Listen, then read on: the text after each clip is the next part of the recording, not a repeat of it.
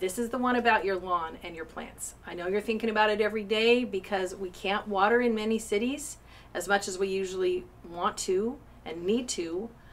But there are ways you can help your lawn and your landscape plants survive these water restrictions, hopefully.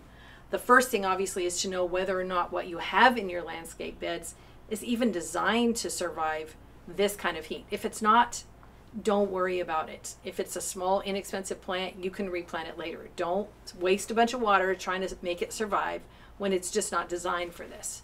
So that's the first thing. Second thing, St. Augustine is going to be the first kind of lawn to die if you can't give it regular deep water. So please water deeply when you can water if you're not fully restricted.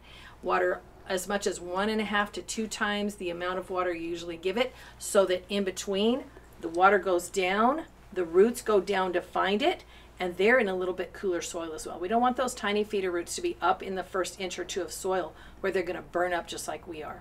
So, more water, also chemicals. Stay away from high nitrogen fertilizers right now because it's just going to burn everything up. You're not going to be able to give it enough water right now.